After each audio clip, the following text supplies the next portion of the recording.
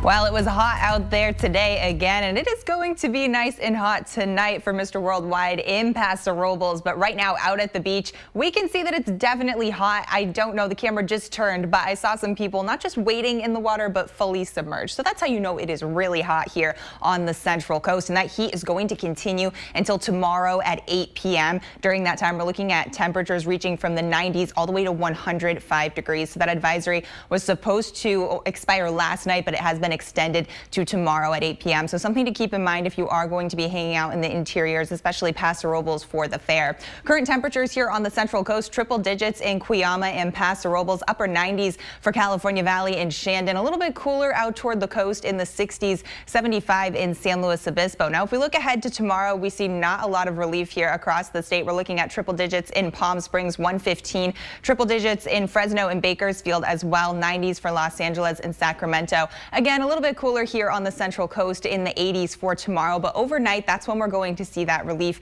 in the 50s tonight. San Luis Obispo at 55.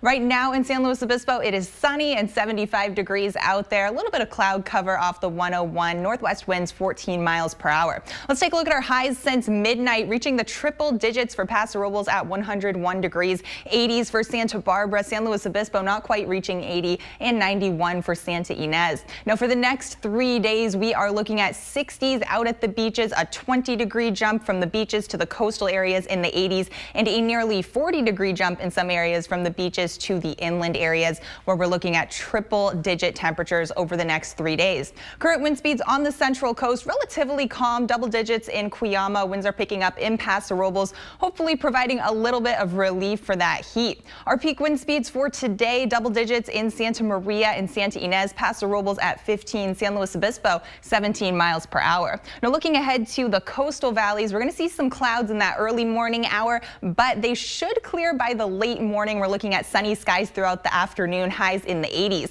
Interior valleys, this is where we're going to feel the heat reaching those triple digits by 3 p.m. The south coast, a little bit cooler in the 70s for the high tomorrow. In the west beaches, this is the place to go to beat the heat starting off the day in the 50s. Not seeing much of a warm up, only getting up to 60 degrees for the high tomorrow. Our 24 hour temperature change is showing showing all areas cooling down for the most part. Cambria staying the same. San Luis Obispo 12 degrees down. Santa Maria at 7. Our area forecast for tomorrow still looking pretty hot, but not quite as hot as earlier this week. Paso Robles hitting 102. Overnight lows in the 50s. San Luis Obispo 82 for the high tomorrow. Along the north coast in the 60s for the high. Five cities area looking at highs in the low 60s and 70s. Along the south coast, we're looking at some areas heating up. Cuyama in the triple digits. Seven day forecast showing Paso in the triple digits, San Luis Obispo in the 80s for this week, Santa Maria consistently in the 70s, and Santa Barbara sunny and 78 for the high tomorrow.